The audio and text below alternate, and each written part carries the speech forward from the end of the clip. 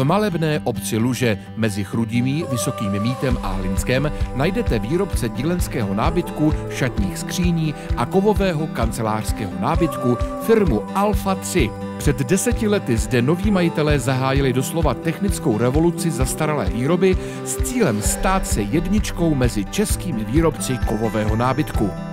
Postupně se měnil i tým zaměstnanců.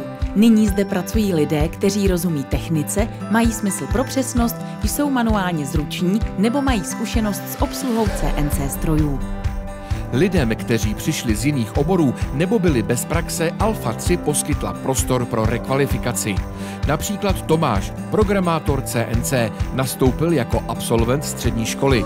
Vítě je vyučený instalatér.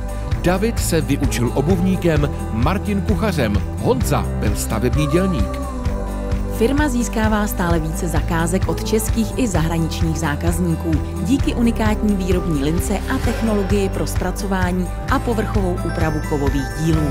Ke spokojenosti zákazníků přispívá i vývoj nových produktů, které mají lepší vzhled a funkci. Za řadou novinek stojí mladý konstruktér Jirka. Alfa 3 průběžně navyšuje mzdy a bonusy. O více než 25% vzrostla mzda lidem, kteří si zvýšili kvalifikaci.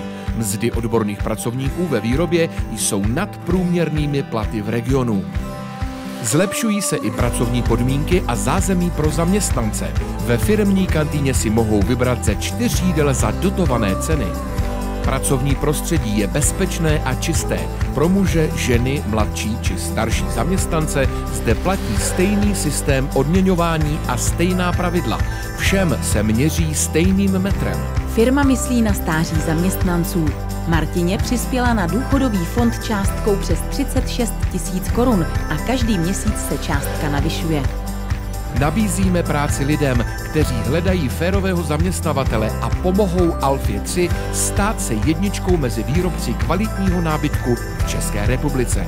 Zapojte se do týmu zaměstnanců ve firmě Alfa 3.